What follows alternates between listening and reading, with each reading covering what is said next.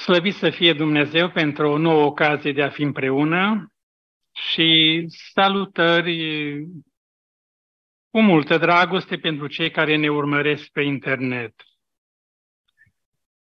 Aș dori să încerc să transmit un mesaj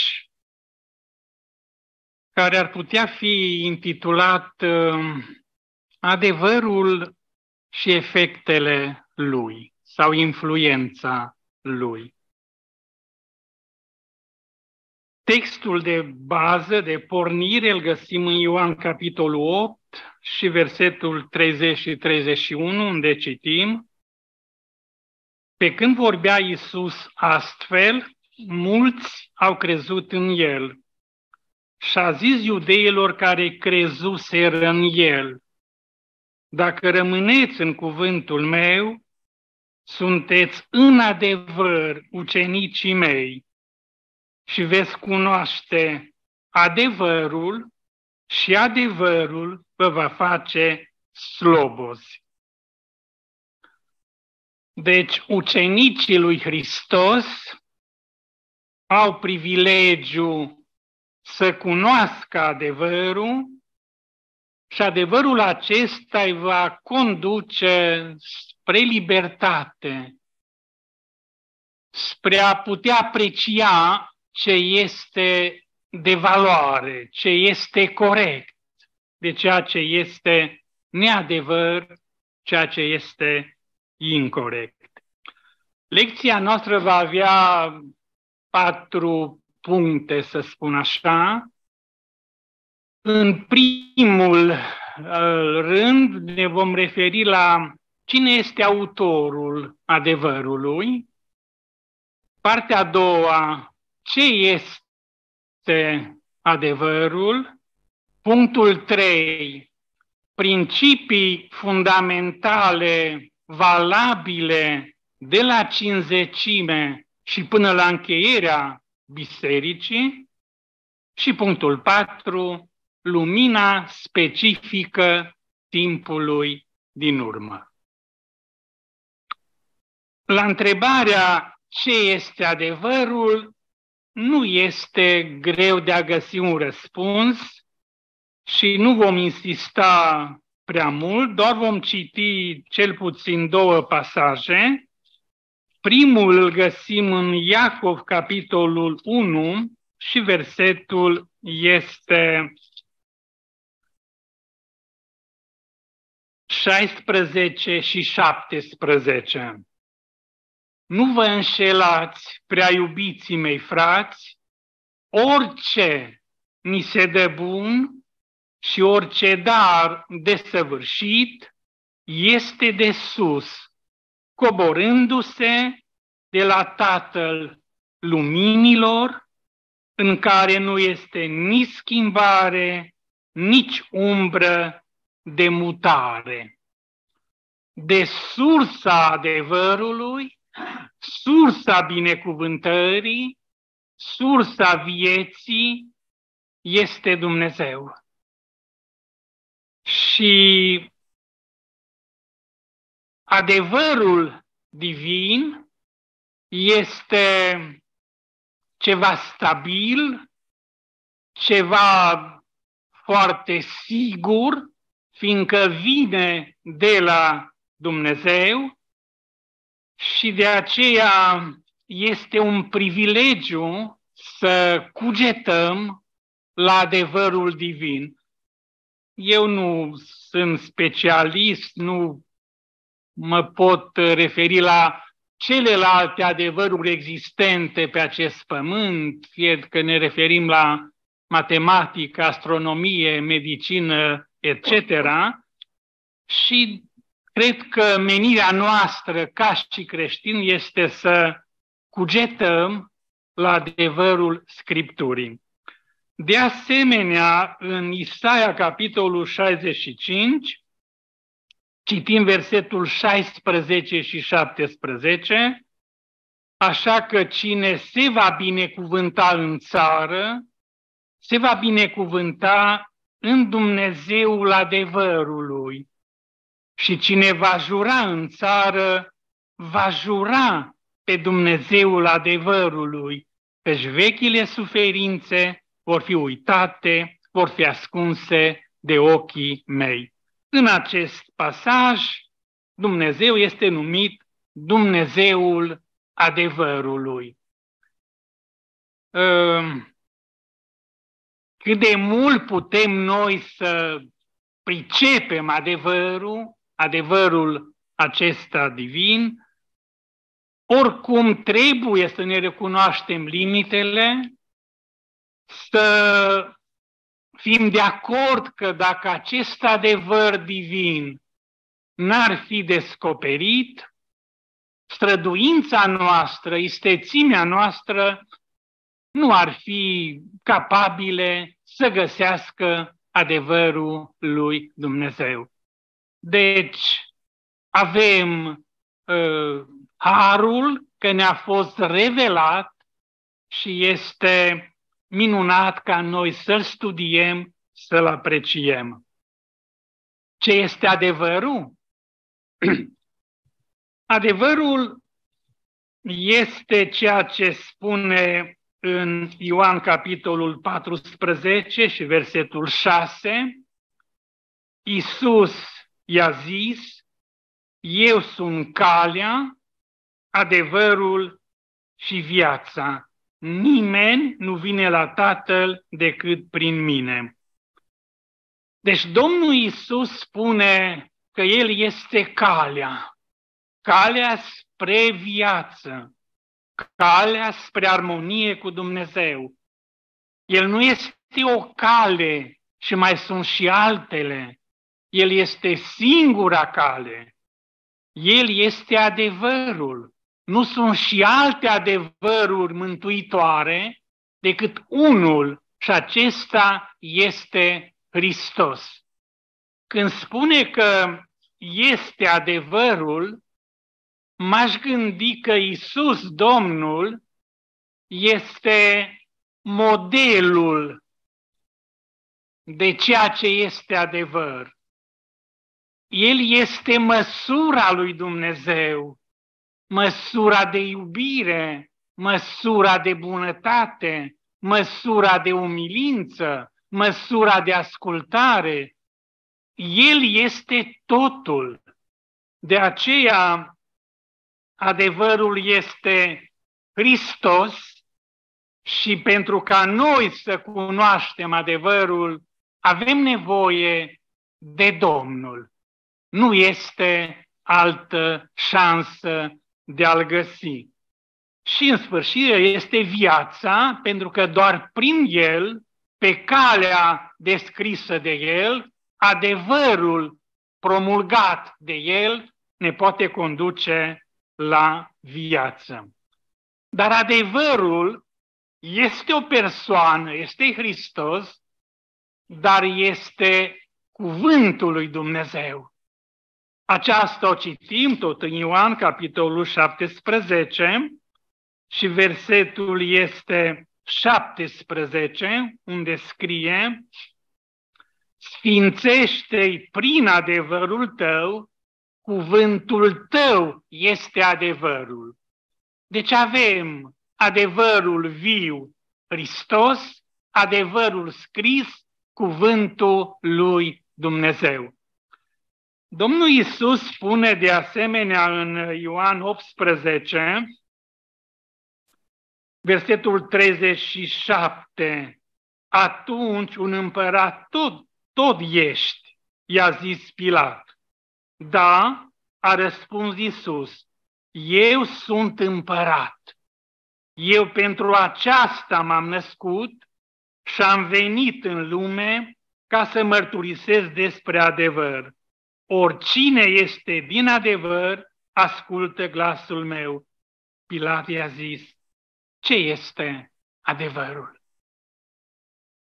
Adevărul era în fața lui, dar ochii lui erau închiși ca să vadă adevărul, adevărul salvator.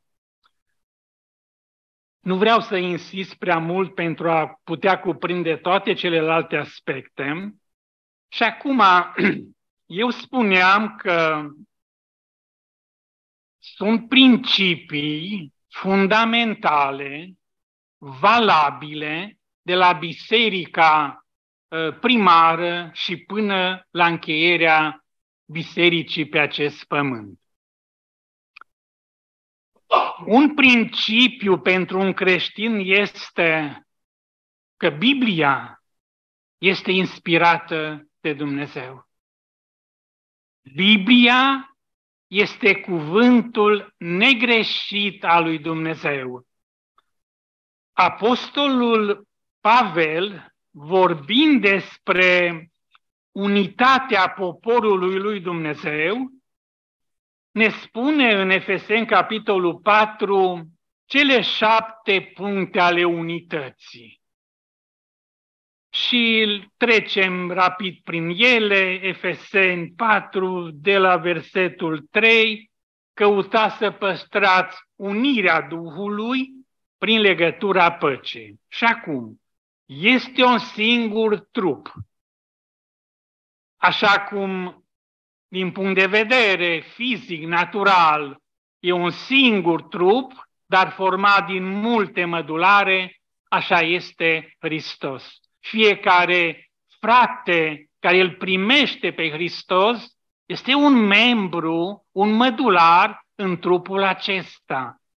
Doar că trebuie să cugetăm cu atenție de a ne cunoaște rolul în trup, menirea în trup și să o putem îndeplini cu credincioșie, cu cea, după cea mai bună putere a noastră.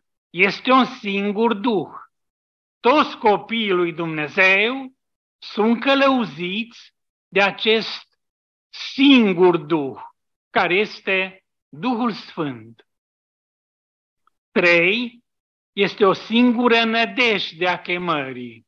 De-a lungul întregului viac evanghelic, această singură nădejde i-a călăuzit pe copiii lui Dumnezeu nădejdea de a fi cu Hristos pentru veșnicie.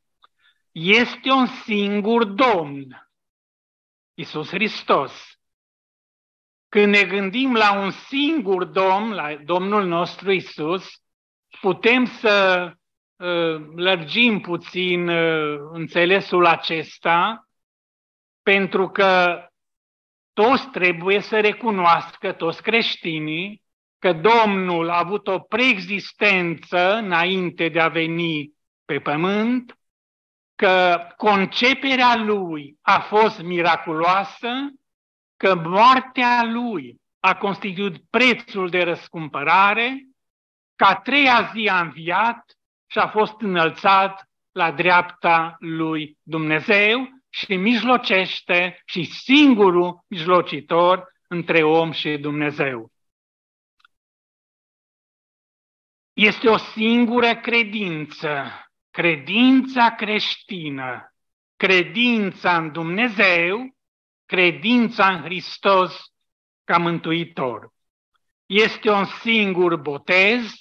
Mi-aș permite să spun că acest singur botez este botezul cu fundări în voința lui Dumnezeu și acceptarea lui Dumnezeu și a lui Hristos ca Domn în viața noastră.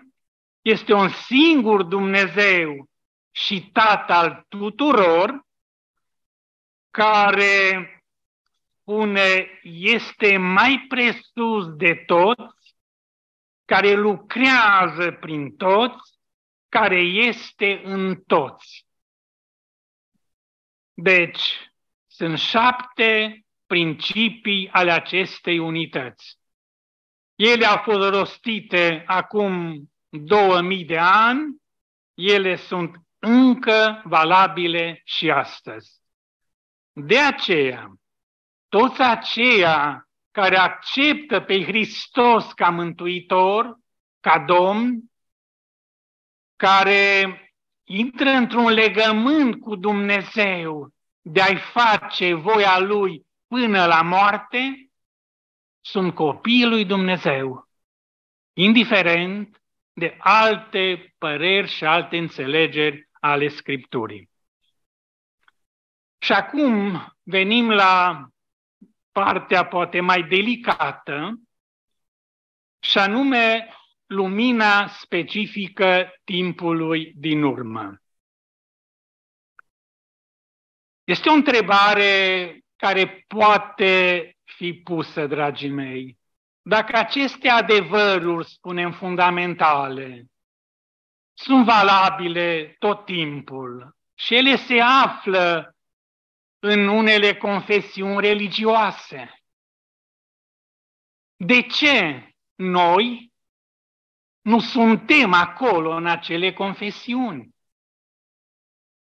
De ce noi ne-am atașat, ne-am separat un mic grup de oameni care, iată, nu suntem mulți, nu avem uh, seminare teologice, oratori talentați, coruri și muzică de mare valoare, stări spațioase, de ce noi preferăm și am decis să stăm în această mică comunitate cu toate limitele ei? Este o întrebare care ne-o putem pune și cred că ne-am pus-o. Faptul că suntem aici și nu acolo este o dovadă că ceva este Ă, deosebit în mintea și inima noastră. Dragii mei, nu putem ă, decât să recunoaștem modul de a lucra lui Dumnezeu. Și anume, de-a lungul erei creștine, Dumnezeu a ridicat bărbați credincioși, bărbați curajoși, prin care Dumnezeu și-a transmis mesajul lui, lumina lui, specifică acelei perioade de timp. Dacă ar fi să ne gândim la anul 1500, Dumnezeu a ridicat pe marele reformator Martin Luther, care, în urma turii, a subliniat în mod special subiectul îndreptățirii prin credință și iertarea păcatelor, nu prin sistemele bisericii catolice, ci doar prin sângele lui Isus Hristos. A fost un adevăr care a fost scos în evidență în acea perioadă de timp. Și aici, unii, nu mulți, dar au aderat la această lumină și au vestit-o mai departe și poate că au avut de suferit pentru aceasta.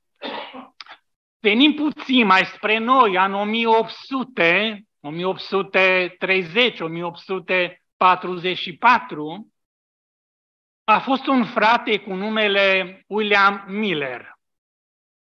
Acest Uh, frate, acest om al lui Dumnezeu, cercetând Scriptura, a format o mică comunitate care au studiat cu atenție Scriptura.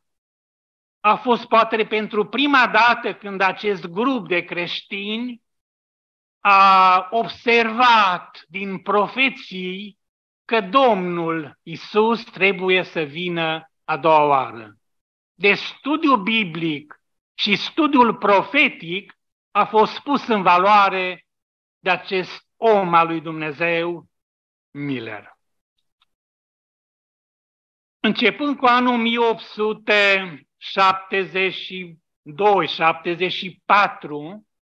un alt om al lui Dumnezeu, fratele Russell, cu de asemenea, un mic grup de, de frați au studiat Scriptura. În urma acestui studiu, ei au observat o mare diferență între ceea ce se învață în bisericile, ă, știu eu, tradiționale, în ceea ce se învață în bisericile protestante și ceea ce învață Scriptura. Și anume, câteva exemple. Bisericile uh, mari, confesiunile religioase, învață doctrina Trinității. Trei Dumnezei într-unul. Cum se poate explica, ei nu știu. Această doctrină este fundamentală în bisericile celelalte. Și în urma studiului Scripturii, frații au uh, observat că adevărul Scripturii este diferit de ceea ce se învață în afară, în afara Scripturii, în celelalte biserici. Și trebuie să uh, am citit undeva că această doctrină a Trinității a fost elaborată în două consilii ecumenice, concilii probabil că e mai corect, în 325 și în 381. Așadar, biserica primară n-avea această învățătură. I-a apărut între timp, iată după anul 300. Cei care s-au aplecat cu respect spre Scriptură au observat ceva, și anume, voi citi din 1 Corinteni 8, versetul este 6.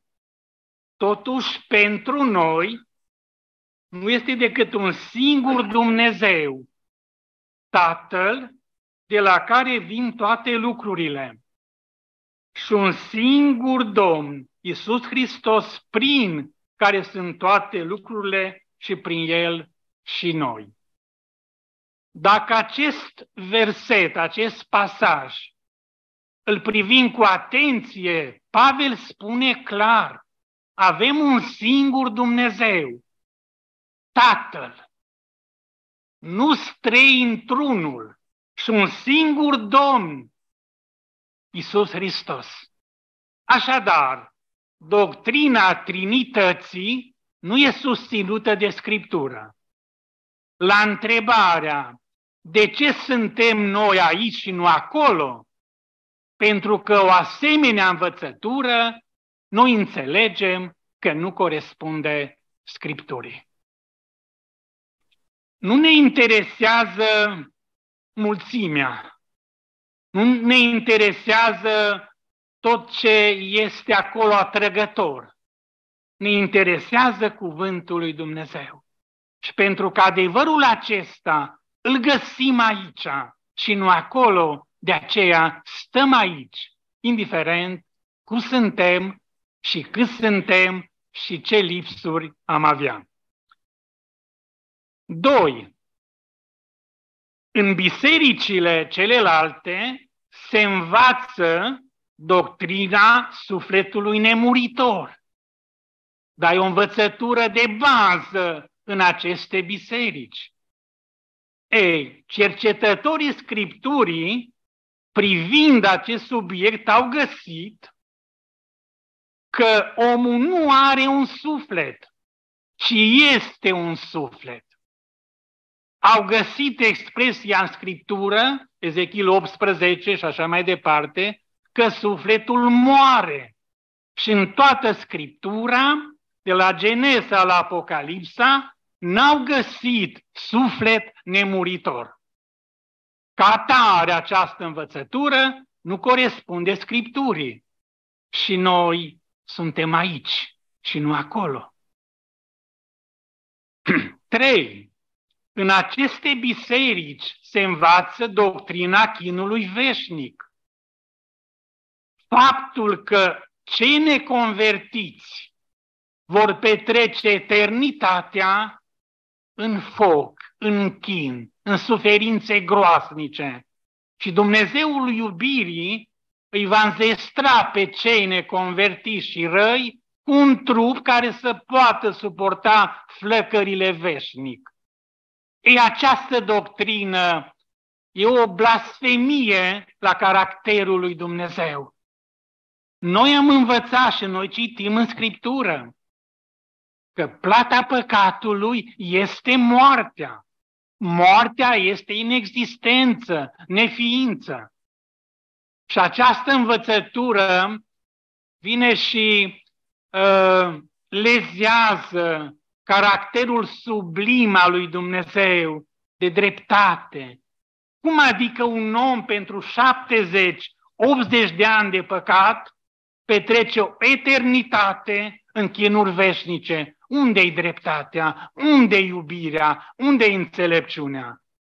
Iată de ce. Pentru că acolo se învață așa și noi vedem din Scriptură că este altfel, de aceea suntem aici. O, o altă doctrină. La a doua venire a Domnului Isus, cerul și pământul vor arde literal, vor dispărea. Noi înțelegem din Scriptură că această ardere a pământului sau a cerului e un simbol al distrugerii sistemelor nelegiuite, a răului, a fără de legii și așa mai departe. Și că în Scriptură stă scris, pământul rămâne veșnic. Când spune, spre exemplu, profetul Isaia, păcatul apasă sau clatină pământul, exact să nu greșesc, Isaia 24, unde citim um, pământul se rupe, pământul se sfărâmă, pământul se crapă, pământul se clatină ca un ombiat, tremură ca o colibă, păcatul lui la pasă, cade și nu se mai ridică. Iată un cutremur care o crăpat pământul și o distrus atâtea vieți omenești și privim cu compasiune această calamitate, dar când este vorba aici că păcatul îl apasă, nu pământul pe care călcăm îl apasă păcatul, ci omenirea, societatea umană.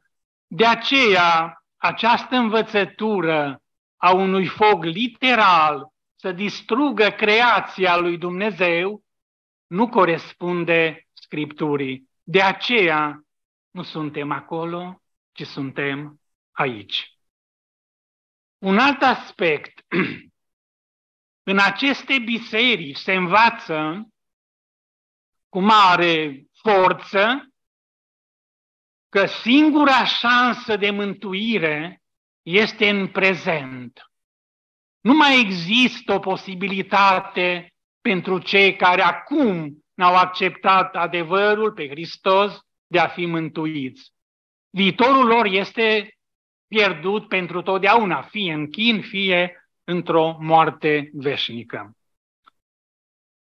Cercetătorii atenți ai Scripturii au observat că Dumnezeu are o mântuire cerească în prezent și o mântuire pământească în viitor. Despre această restabilire sau ridicare a tuturor lucrurilor a vorbit Dumnezeu prin gura tuturor sfinților săi profeți din vechime. De Scriptura este clară când ne spune că vine împărăția lui Dumnezeu și neamurile vor veni cu grămada la muntele casei Domnului. Biblia e clară când spune că toate neamurile se vor închina înaintea lui. E această șansă ca ateii, musulmanii, budiștii, hindușii și alții, toți ceilalți, să aibă o șansă în viitor, nu o găsim acolo, în acele biserici, dar o găsim în Scriptură. De aceea suntem aici și nu suntem acolo. Dragii mei, mi s-a părut că e important să subliniez acest lucru. Nu sunt singurele învățături care ne deosebesc. Avem uh, o înțelegere diferită privitor la a doua prezența Domnului, privitor la restabilirea lui Israel, căderea Babilonului, arderea Neghinei și alte aspecte. Le găsim aici și nu le găsim acolo. Iată de ce preferăm să stăm așa cum suntem, un mic grup de creștini, fără mare pompă și lux și avem respect pentru toți ceilalți care gândesc diferit. Și vreau să spun ceva.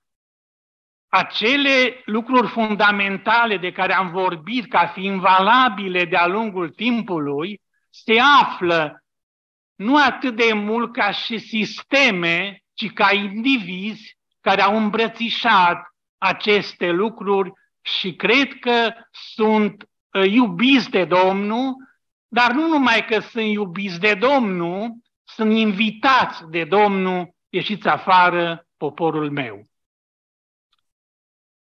Acum, în partea din urmă, câteva efecte ale adevărului. Am văzut diferența între ceea ce noi credem ca fiind o lumină specifică a timpului nostru și ceea ce uh, se află în aceste confesiuni religioase.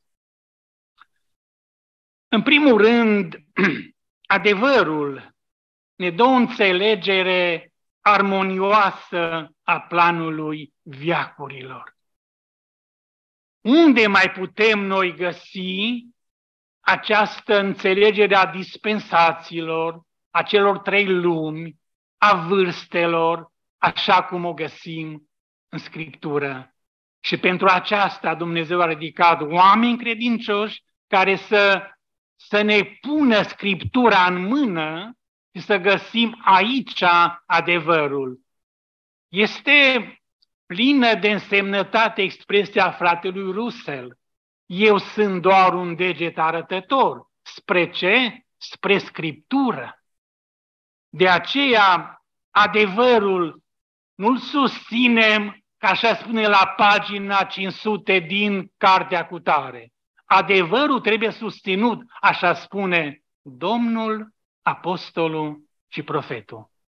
Pentru că dacă fratele Russell și colaboratorii lui au fost uh, instrumentele divine să scoată în evidență Scriptura, noi trebuie să avem argumentele biblice.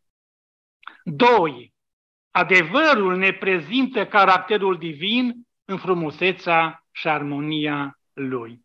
Unde mai vezi atâta dreptate, atâta iubire, atâta înțelepciune și marea lui putere de a realiza acest plan de salvare și de mântuire. Câtă admirație trebuie să avem pentru adevărul divin, pentru că este o reoglindire a caracterului divin. Adevărul este asemenea lui Dumnezeu.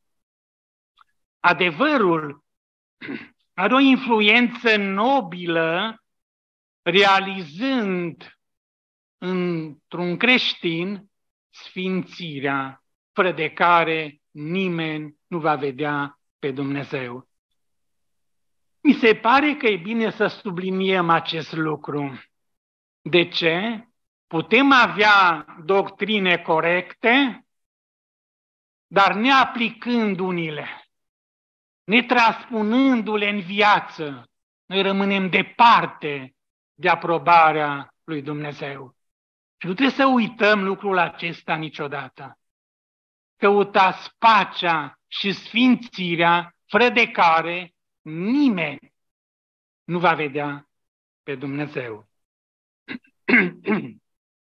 Adevărul ne protejează de erorile și ispitele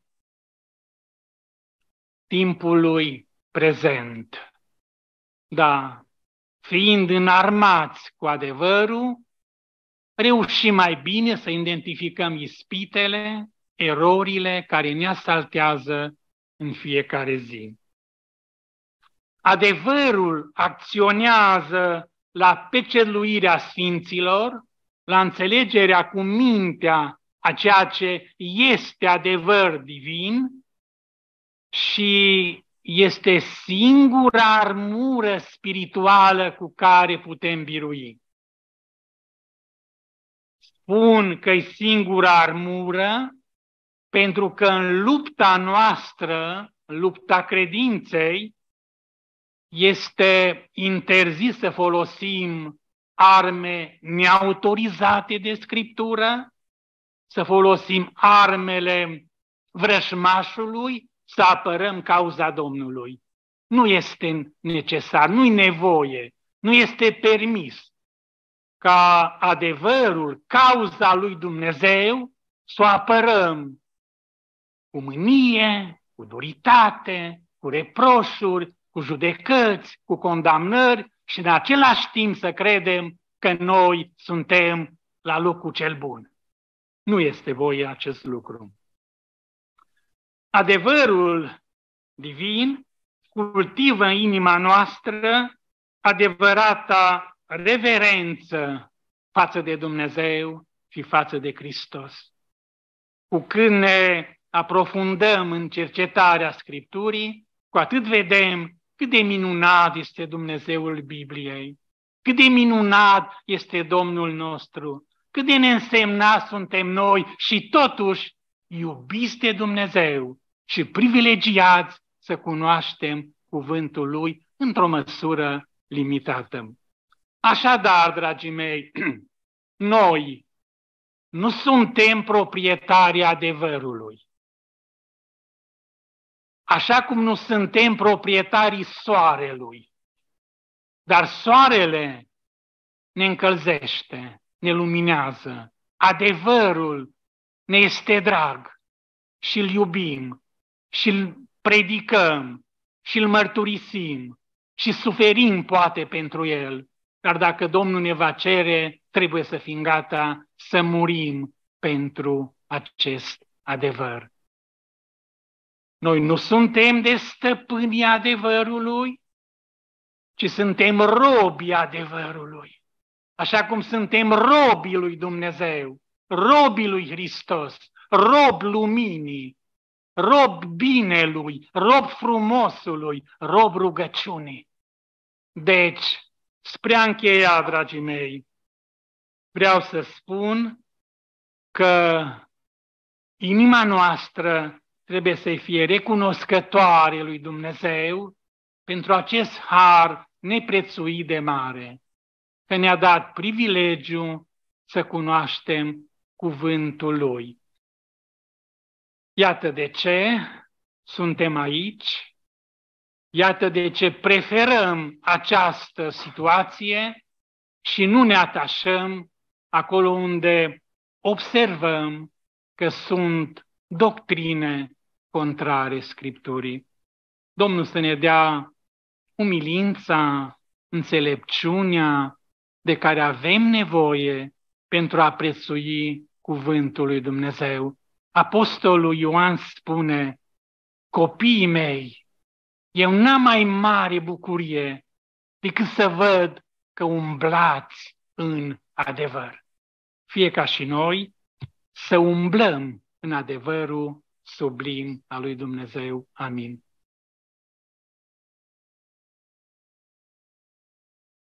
Mulțumim lui Dumnezeu pentru cuvântul său, mulțumim fratelui Corner care s-a străduit să ne prezintă această lecție în patru puncte esențiale.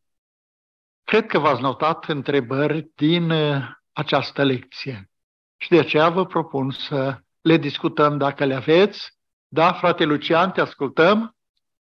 Mulțumim domnului și fratelui Cornel pentru această frumoasă lecție despre adevăr și noi vedem peste tot prietenii noștri creștini, fiecare zice, aici ai adevărul. Cum am explicat noi în cuvinte simple că aici e adevărul? Pe înțeles, așa simplu, ca la omul simplu care întreba, băi, tă zice, Că la ei să mergem, că acolo. Atunci, explicați-mi voi dacă e la voi adevărul. Cum o facem?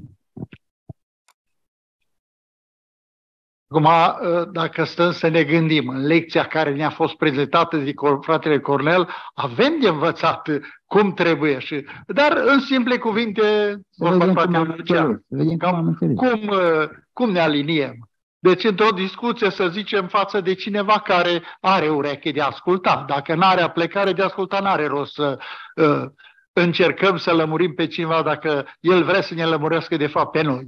Da. Cum explicăm acest aspect? Câteva gânduri. Sora Nuță, cât de scurt dacă poți. Eu am înțeles și cred că și voi ați înțeles, așa după cum și eu am putut să înțeleg, de când Tatăl ne-a binecuvântat prin harul său cu acest minunat adevăr și ne-a dăruit și credința în dar. Deci am primit și credința și ființa noastră minunată de la Dumnezeu, prin harul său și prin fiul său minunat Domnul nostru. Eu cred și așa gândesc că noi putem să arătăm pe Domnul nostru Isus Hristos pentru că El este adevărul. În primul rând. Și când a venit prima dată la întâia sa venire în lume nu l-a cunoscut oamenii și nici cei care l-a așteptat nu l-a dorit și nu l-a cunoscut până la capăt. Și știm cu toți cum s-a întâmplat. De aceea, adevărul este scumpul nostru mântuitor, Domnul Isus Hristos, care ne-a răscumpărat cu viața sa sfântă. Eu vă mulțumesc, atâta pot să vă spun aici. Da, mulțumim, sora Nuță. Frate Gavrilă și apoi fratele Marius. Deci, simplu, cum am putea prezenta? Sigur că trebuie să începem așa cum uh, trebuie să începem. De unde vine adevărul? Da. Ce îi? Frate Gavrilă, te ascultăm. În primul rând, ar trebui să fim uh, și politicoși față de o asemenea persoană și să-i spunem căci uh,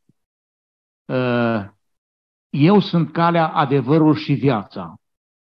Și Ioan 8 cu 32, căci uh, cuvântul meu este adevărul, când l-a întrebat pe Pilat, și cunoscând cuvântul lui Dumnezeu, cunoscând cuvântul Domnului Isus, care ne mărturisește că este un singur Dumnezeu adevărat, nu sunt trei Dumnezei, ne mărturisește că adevărul însușindu-ne ne sfințește, Ioan 17 cu 17. Pe urmă, că doctrina chinului veșnic, prin faptul că Dumnezeu este iubire, avem în 2 Ioan un capitol, două capitole care numai despre iubirea lui Dumnezeu. Căci Dumnezeu nu pedepsește pe cineva pentru o viață, cum s-a amintit adineori, de 70-80 de ani, pentru veșnicie pe cineva. Pe urmă, că a trăi într-o armonie cu Dumnezeu înseamnă a trăi în armonie și respect unul cu altul. Veți fi cunoscuți de oameni prin faptul că veți avea o dragoste ferbinte între voi. Și m-aș mai referi încă Cam atât îmi vine în minte acum. Dar... Da, mulțumim, frate Gavrila. Da. Mai ai ceva de adăugat aici? Bine, bine. Toate Marius. Din ce mi-am dat eu seama până acum și discutând cu cineva, nu, niciodată nu o să poți să-i spui trei cuvinte sau să-i spui o propoziție și cineva să înțeleagă că, uh, nu știu, învăță, din învățăturile pe care poți să le exprimi, uh, acolo e adevărul.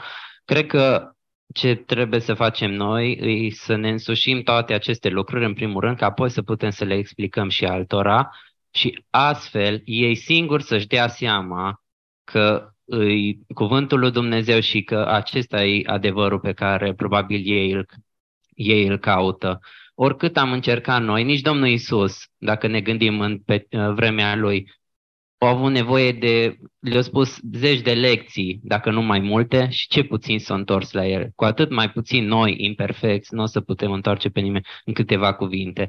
Dar cred că dacă cu cineva vom stărui și vom explica uh, fiecare nedumerire, uh, cred că încet o să-și dea seama dacă Dumnezeu îi deschide inima. Da? Frate Gavrilă. Da, îmi cer scuze că nu o să aminti rapid cum am pus jos. Veți cunoaște adevărul și adevărul vă va face liber. Liber de ce? De orice superstiție, orice învățătură care nu are rădăcină fundamentată în învățăturile biblice, orice uh, hotărâri de consilii sau concilii care învață lucruri care nu vin de la uh, Dumnezeu.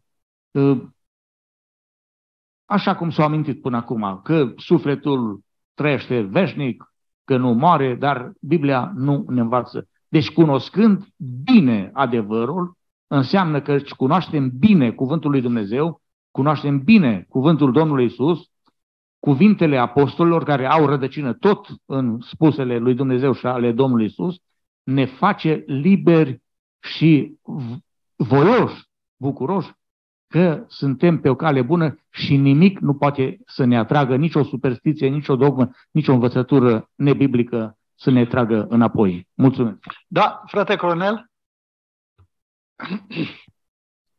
Foarte scurt, că nici nu-mi se cuvine să zic lung, uh, doar atâta. Forma întrebătoare este cea mai eficientă, nu explicațiile, argumentele, predicile, ci folosind întrebarea într-o discuție. Mulțumesc! Da, mulțumim. Și trebuie din partea acelea căru- căruia explicăm să aibă aceeași atitudine pe care o au toți cei care, iată, să străduiesc să înțeleagă adevărul. Și aceasta este umilința. Nu există așa ceva, nu avem ce să discutăm cu alții. Nu se poate, e imposibil. Frate Lucian,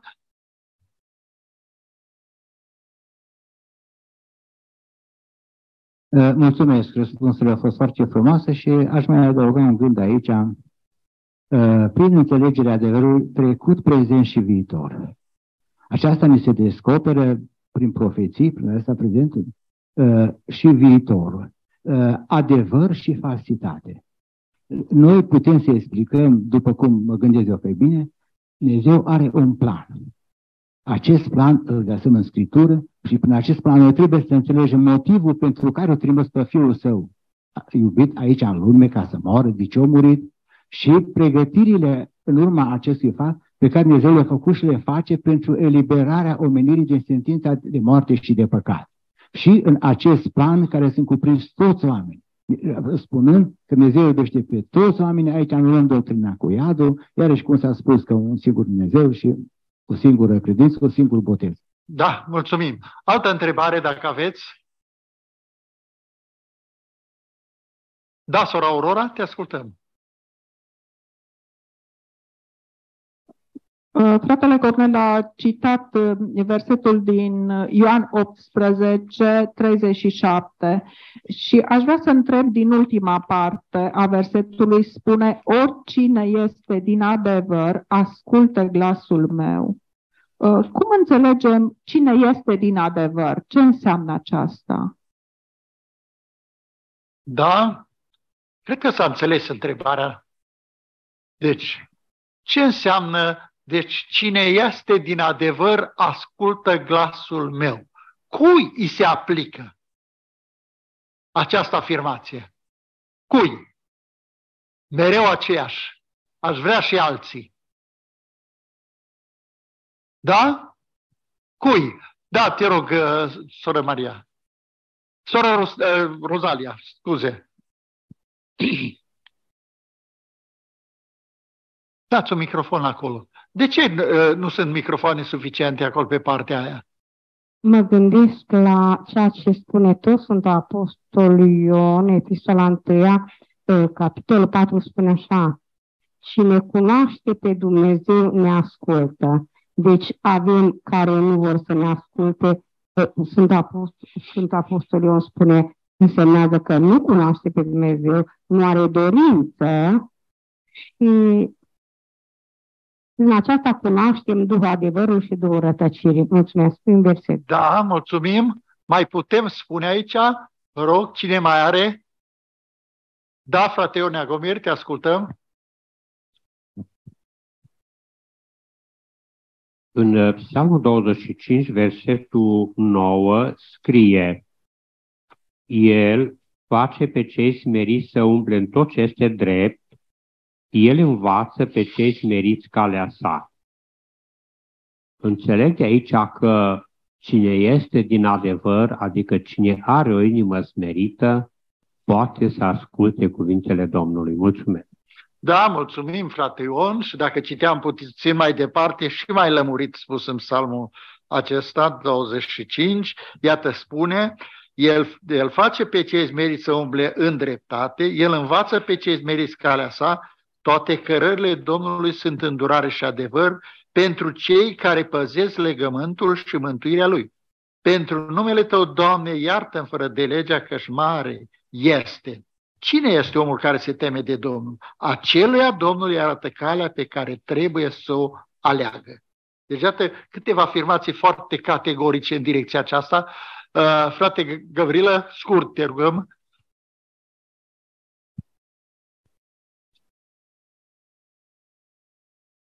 E sigur că o inimă care o acceptat și o primit cuvântul lui Dumnezeu, care l-a transformat în caracterul, în inima lui, în temperamentul lui, în tot, tot, tot. Acesta este născut din adevăr. Simplu. Da? Lucian, mai ai ceva de adăugat aici?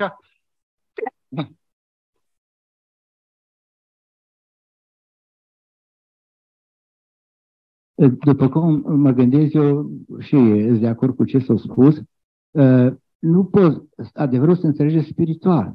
Dacă nu ai făcut un legământ cu Dumnezeu, numai după aia Dumnezeu ă, Fiindcă zice, eu închis pe toți în știință ca să aibă milă de ei. Doar e o, responsabil fiecare în funcție de cunoștința care o are. Părintele Ceresc are milă de toți, că toți sunt creaturile sale. Da, mulțumim. Deci, în esență, ceea ce întreabă sora Aurora, deci nu se referă la cei de afară.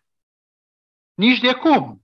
Ci se referă la cei care au început să aibă o înțelegere. Și nu doar o înțelegere, viața lor demonstrează că umblă în aceeași direcție a adevărului.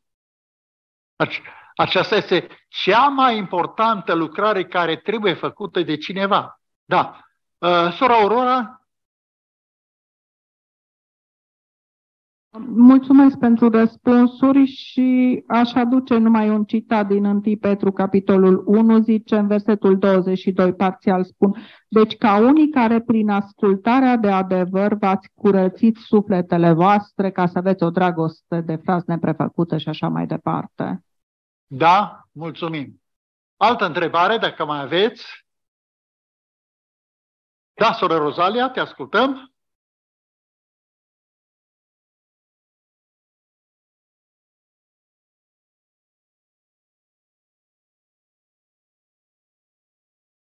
Dacă s-ar putea puțin să ă, dezbatem sau să înțelegem, să înțeleg eu, că dacă este diferență între a cunoaște adevărul și a umbla în adevăr. Mulțumesc. Uh, un pic s-a discutat. Da, dacă mai vrem să aprofundăm chestiunea aceasta, da. Soră Viorica Neagomir, te ascultăm. Sigur că este foarte mare deosebire. Da. Poți să cunoști mult și să aplici puțin. Foarte mare diferență. Sau poți să cunoști puțin și să aplici cât, cât poți.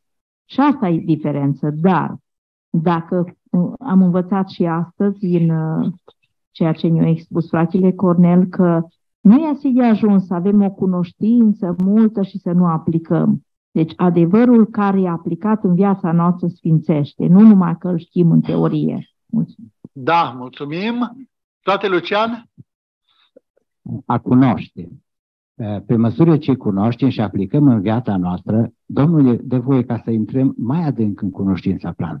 Așa că dacă noi nu aplicăm, cum spune Domnul la Nicodei, aici ce ai învățat trebuie să pui, aplici în practică vieții. Dacă nu, după aia poți să mergi mai departe. Cum am spus, că închis pe toți știință să aibă mine de...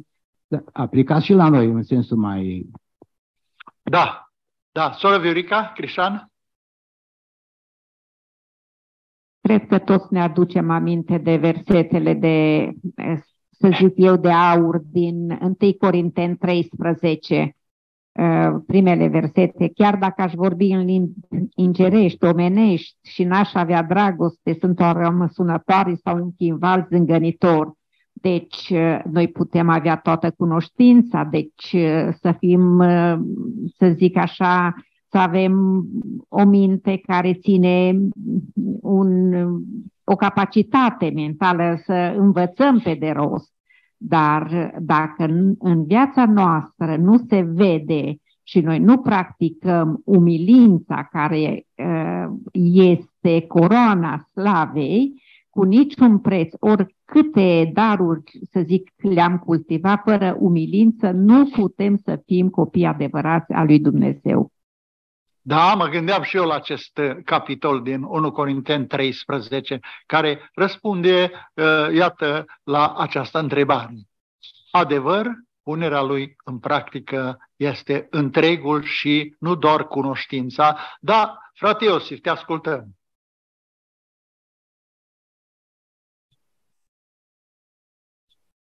O întrebare aș avea și eu. Uh, un moment, sora Rozalia a pus întrebarea și apoi revenim la tine. Sora Rozalia?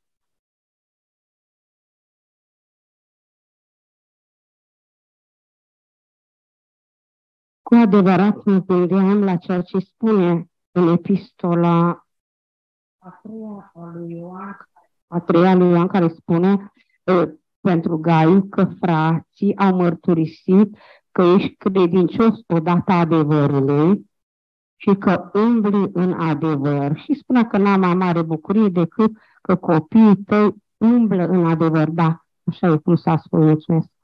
Da, mulțumim. Era ceea ce fratele Cornel a încheiat lecția lui și care ne-a urat și nouă fiecăruia să umblăm în adevăr. Și aceasta este relația, deci, a adevărului, deci cu punerea lui în practică. Putem avea toată cunoștința, totul să avem, dar dacă în viața noastră ă, lăsăm lacune legate de acest aspect, nu putem fi aprobați. Da. Întrebare, frate Iosif.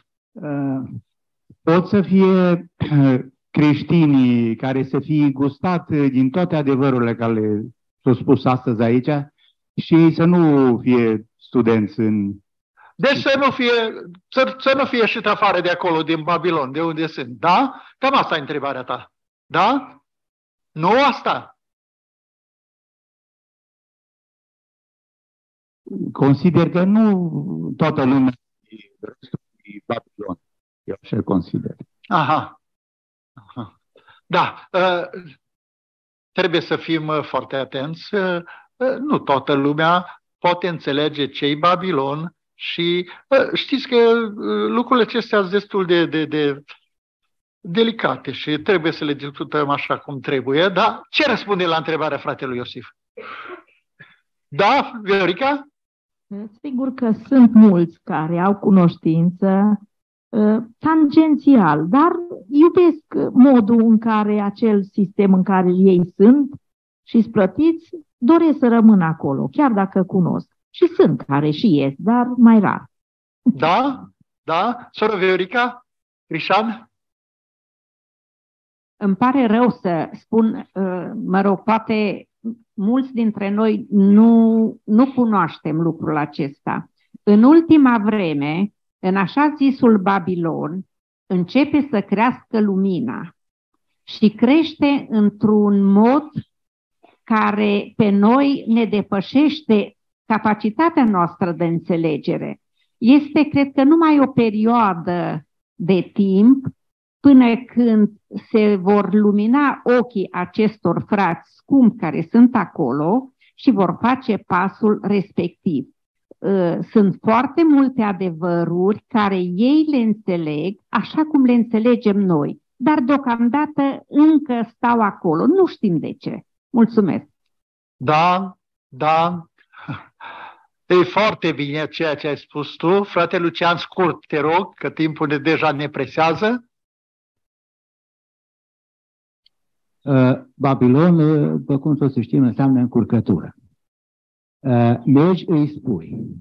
Și află, știe, dar nu-l poate crede. Cum explicăm aici? Asta e altă întrebare, frate Lucian. A răspuns printr-o întrebare. frate Marius, te rugăm. Din ce am mai văzut și am discutat cu unii și cu alții, cum, cum s-a menționat tangențial, s-ar putea să înțeleagă unul sau poate două, trei din, uh, să zic, punctele principale arătate în scriptură, pe care au fost, câteva dintre ele au fost dezbătute și, și astăzi. Da, cred că um, cumva sunt lucruri care îi, îi țin acolo. Că e vorba uh, poate de poziție, uh, de uh, familie, de prieteni și multe alte lucruri pe care le-am văzut și le-am auzit, uh, să zic, personal de la alții. Și cred că aici, aici uh, e exact ce s-a discutat mai devreme. Degeaba știi dacă nu pui în practică. Cum poți să, cum poți să cunoști lucrurile care, să zic, cei cu care te aduni nu sunt de acord, dar tu ai altă credință și în continuare să mergi. E, e exact ce am discutat. Cunoști lucruri, dar nu e nicio, nicio măsură în direcția aia. Uh, e ca și mesajul care se, care se strigă și s-a strigat. Ieșiți afară din Babilon ca să nu fiți părtași la uh, toate lucrurile care să vină. Dacă nu faci, nu acționezi, Domnul ne zice că noi trebuie să facem pasul ăsta dacă vedem că există o încurcătură într-un anumit loc. Dacă nu îl facem, cred că suntem răspunzători pentru modul și locul în care rămânem, chiar dacă cunoaștem. E exact ce am discutat mai devreme. Degeaba cunoști dacă nu pui în practică. Așa, îi mulțumim, frate Gavrilă, și apoi sora Maliana Elciu și ne oprim. Vă dau un exemplu practic, da, de care să nu mă râdeți. Nevastă mea de mult timp face câte o mâncare din soia, linte și nu știu mai ce. Și eu n-am mâncat ani de zile. Și odată am venit acasă și, bă, zic, mâncare nu prea este, ia să văd, e bun. A fost excepțional de bun. Și de atunci, așa e și cu... Da, până când guști, vezi, te convingi și te transformă, până atunci nu poți să impui nimănui nimic. Deci să fie convingerea lui. Mulțumesc. Da, mulțumim. Sora Mariana, spuneau ultimul răspuns. Mulțumesc.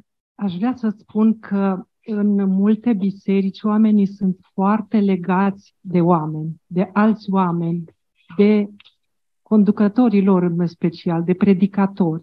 Cred că dacă noi mergem cu un mesaj de felul nu există iad, nu pun nicio, nici, nicio valoare n-ar avea. Dar dacă predicatorul lor le-ar spune, fraților, am cercetat, nu există așa ceva, mulți ar crede. De aceea, ce vreau să spun este să nu fim legați de oameni, să fim legați de Domnul, El să fie capul nostru, pe El să-L urmăm orice ar fi.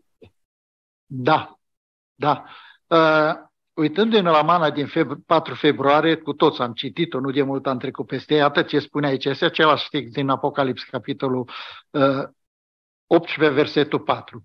Deci ai spune așa, toți care sunt vrednici să poarte numele poporului meu vor auzi și vor asculta vocea Domnului, îi se vor supune și vor ieși afară din Babilon.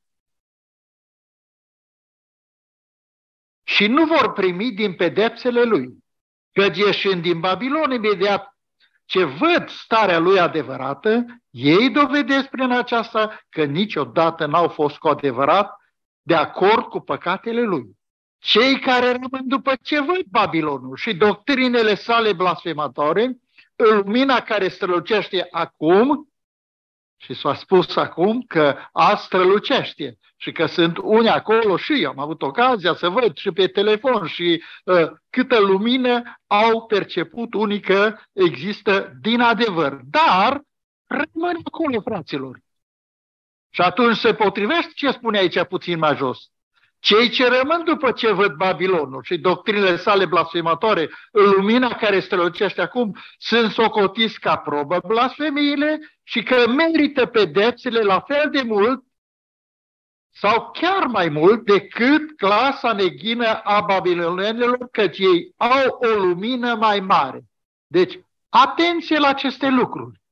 Deci dacă rămân acolo, oricâtă lumină ar avea, sunt luați, să zicem, în aceeași oală ca și ceilalți. Bancă mai pedepsiți că au avut lumina și lumina nu i-a condus să iasă afară de acolo, ci rămân acolo. Aceasta este ceea ce ar trebui să observăm. Da.